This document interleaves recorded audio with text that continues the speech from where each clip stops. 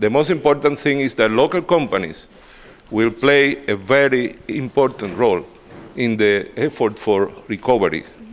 Ono što je jako važno napomenuti je da će domaće kompanije igrati značajnu ulogu u oporavku zemlje. So,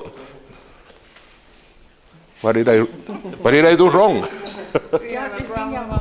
okay, so uh, this is very important, uh, uh, as I said again, for the local companies to be present in the efforts for the recovery of Bosnia of, and Herzegovina after the natural disasters. I kao što sam već rekao, jako je značajno da domaće kompanije budu uključene u ove napore u obnovi Bosne i Hercegovine nakon prirodne katastrofe. I think it's a very timely event for that. I mislim da je pravo vrijeme za jedan ovakav događaj.